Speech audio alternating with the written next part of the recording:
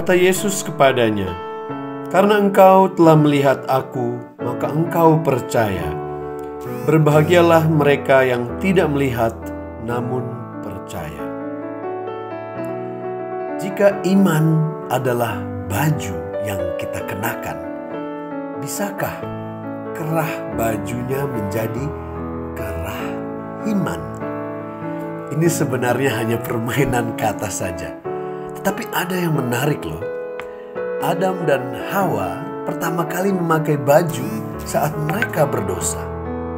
Saat kita dibaptis, kita memakai baju putih yang baru yang melambangkan jubah Kristus yang kita gunakan sebagai simbol kehidupan baru di dalamnya. Kerah baju itu punya fungsi bermacam-macam, seperti fungsi keindahan, fungsi yang formal, ataupun fungsi untuk melindungi. Para imam memakai kerah imam yang menutupi seluruh leher sebagai tanda bahwa mereka adalah pelayan sakramen gereja dan sudah ditabiskan jadi tidak lagi bisa menikah.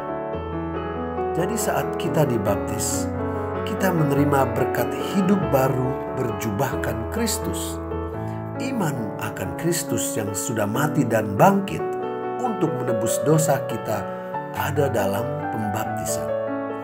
Seperti yang kita renungkan kemarin, iman ini tidaklah gampang dipercaya. Bahkan hari ini kita mendengar Santo Thomas yang mati-matian tidak percaya sebelum dia melihat dan menyentuh luka Kristus. Iman itu adalah pemberian Tuhan kita hanya bisa membuka tangan dan hati untuk menerimanya. Tetapi iman saja tidak cukup karena hari ini ia memberkati kita dengan kerahimannya. Kerahiman, kalau saya boleh sedikit iseng, dibaca iman yang berkerah. Hari ini Tuhan Yesus datang tidak hanya menguatkan mereka yang imannya lemah seperti Thomas, tapi ia memberikan iman yang berkerah pengampunan yang tanpa batas. Dosa membawa malu, tetapi malu kita dijubahi oleh iman akan Dia yang bangkit, dan sekarang jubah kita mempunyai kerah pengampunan atau kerahimannya, sehingga baju Kristus kita menjadi formal. Kita bisa masuk ke dalam pesta di surga. Masih ingat cerita orang yang dikeluarkan dari pesta karena tidak memakai pakaian pesta? Kerahiman ini mengundang kita, bahkan menuntut kita untuk memiliki iman akan Kristus. Tuhan Yesus memohon kepada kita melalui Santa Faustina agar kita percaya dan mengandalkan Dia. Yesus, Engkaulah andalanku. Jesus, I trust in you. Yesu ufam tobi. Ini tertulis dalam berbagai bahasa di gambar kerahiman mengandalkan Kristus di atas segalanya, artinya menyerahkan seluruh hidup kita ke dalam tangannya. Kerahkan seluruh iman yang ada pada Kristus yang maha murah hati.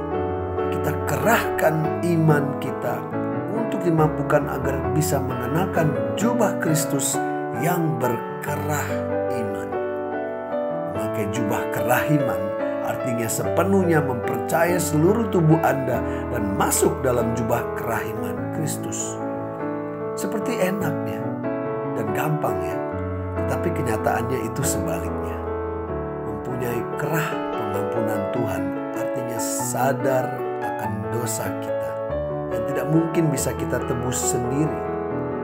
Memakai kerah iman berarti mau merendahkan hati kita dan mengakui dosa kita di hadapan saudari atau saudara kita yang perlu mendengar permohonan maaf kita. Memakai kerahiman berarti mau mengakui dosa kita kepada seorang imam dalam sakramen rekonsiliasi.